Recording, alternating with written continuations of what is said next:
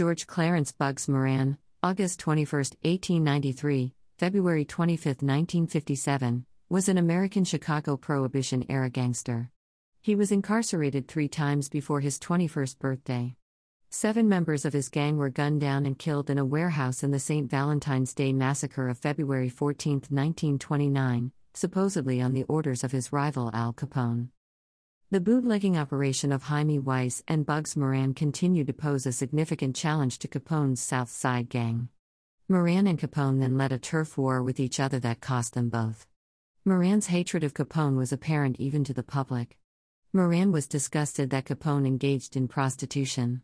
He would not increase profits himself by engaging in prostitution rings because of his Catholic religion.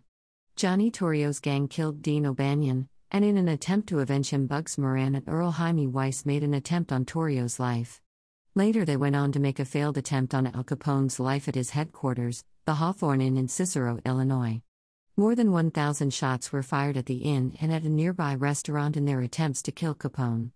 In retaliation, Weiss's life was taken by Al Capone's gang, and Bugs Moran became the new boss of the North Side Gang.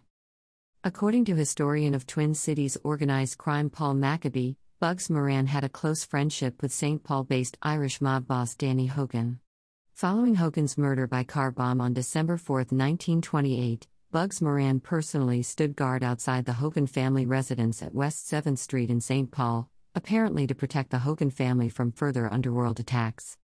Responding to Weiss's death, Moran tried to kill a member of Capone's gang, resulting in an attack, allegedly from Capone, known as the St. Valentine's Day Massacre. Moran managed to keep control of his territory and what remained of his gang through the early 1930s, but the North Side Gang never fully recovered its power, former place in Chicago's underworld as the chief rival to Capone's Italian mob. Moran eventually left the area, quitting the gang entirely, though not the criminal lifestyle, as he reverted to his earlier gangster ways of petty crimes such as mail fraud and robbery. On April 30, 1939, Moran was convicted of conspiracy to cash $62,000 worth of American Express checks. He was freed on appeal when he posted a bond. He fled but was captured and not released until December 21, 1944. He was almost penniless by the 1940s, only 17 years after being one of the richest gangsters in Chicago.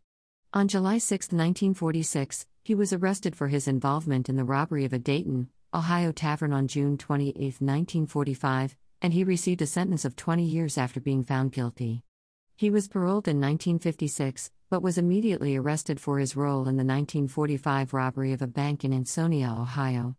He was found guilty in 1957 and sentenced to 10 more years in prison.